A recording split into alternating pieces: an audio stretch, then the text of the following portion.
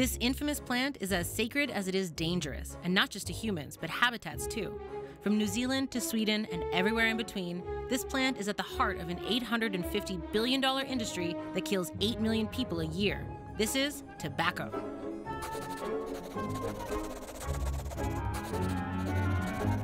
Hey, I'm Tasha the Amazon, and you're watching Floralogic. Today we're talking about Nicotiana tabacum, otherwise known as cultivated tobacco, Virginia tobacco, or just plain tobacco. We spend a lot of time on this channel talking about animals' well being, but we want to make sure that we don't forget about our own. Let's take a moment to talk about mental health. If you think you might be feeling depressed, stressed, anxious, or overwhelmed, you're not alone. Today's sponsor, BetterHelp, is here to help you. BetterHelp offers more than 25,000 licensed therapists who can help you with a wide range of issues. To get started, you just answer a few questions about your needs and preferences in therapy, and BetterHelp matches you with the right therapist from their network. You can message your therapist at any time and schedule live sessions to talk to them via phone, video, text, or chat. And if your therapist isn't the right fit, you can switch to a new therapist at any time at no additional charge. With BetterHelp, you get the same professionalism and quality you expect from in office therapy, but with a therapist who's custom picked for you, more scheduling flexibility, and at a more affordable price. Get 10% off your first month at betterhelp.com slash animalogic and join more than 3 million people who've taken charge of their mental health.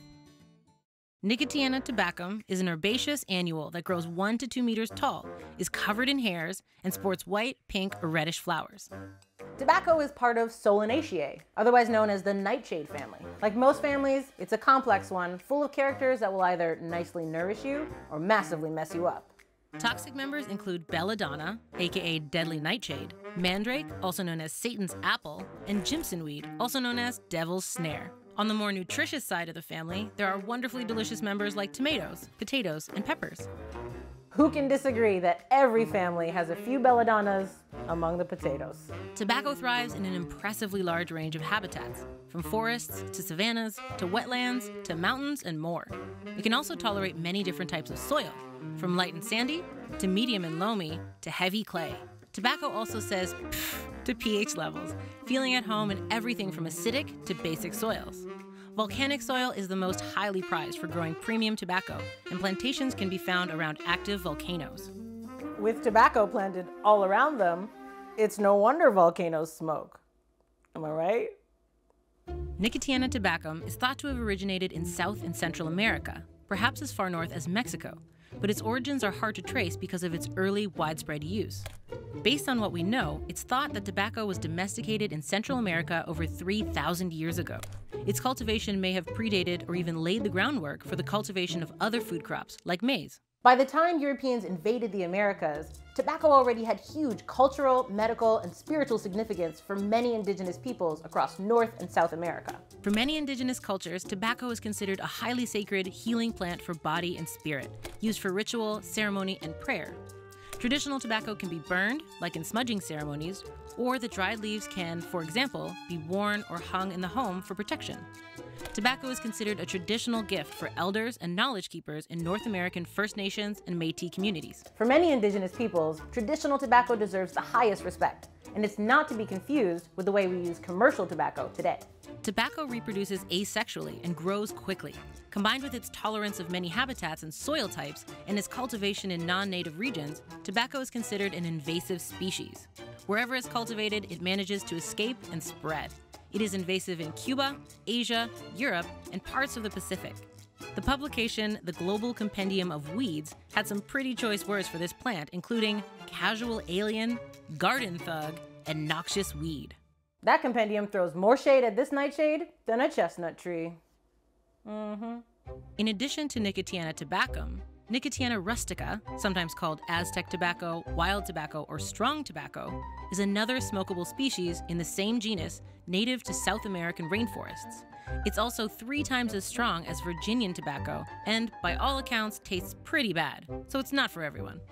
The other species in the Nicotiana genus are called flowering tobaccos and are used as ornamental plants. Nicotiana rustica is so much more potent than Nicotiana tabacum that in addition to being snorted, smoked, and chewed, it's also used as a powerful pesticide and topically to treat swelling, skin diseases, and scorpion stings. We can't talk about tobacco without also mentioning nicotine, the addictive alkaloid contained in tobacco that has made it such a booming industry. While nicotine itself doesn't cause cancer, recent studies have shown that nicotine can affect critical steps in the development of cancer. But there are carcinogenic compounds in tobacco. For example, polycyclic hydrocarbons are a class of chemicals that form naturally from burning crude oil, coal, gasoline, and tobacco. There are also nitrosamines, which form when tobacco leaves are aged or processed. These two types of compound are the root of most cancer diseases caused by tobacco. But even if it doesn't cause cancer itself, nicotine is what turns people into repeat customers. 1.3 billion of them around the world, in fact. The World Health Organization calls tobacco use one of the biggest public health threats the world has ever faced, killing about 8 million people globally a year. It's even proven to contribute to poverty, since money meant for basic needs like food and shelter is often diverted to buy tobacco products.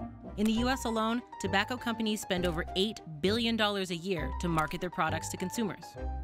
That's just under a million dollars an hour. Given its widespread use and addictability, you wouldn't think this wildly popular yet seriously deadly plant would need any advertising dollars at all. The natural properties of tobacco guarantee customers keep coming back for more, even if it kills them. So, what should we talk about next? Let me know in the comments, and don't forget to subscribe for new episodes every week. Bye!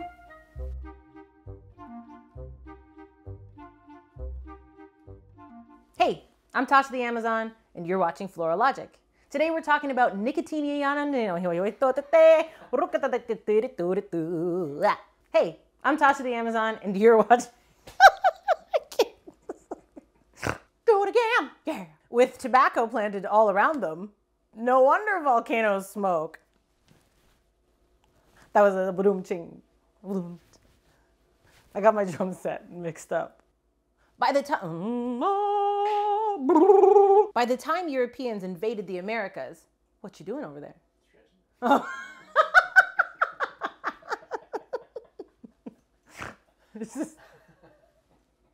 Roll out the barrel, we'll have a barrel of fun. Tobacco already had huge cultural, spiritual, and medical significance for many indigenous indigenous. Uh, uh.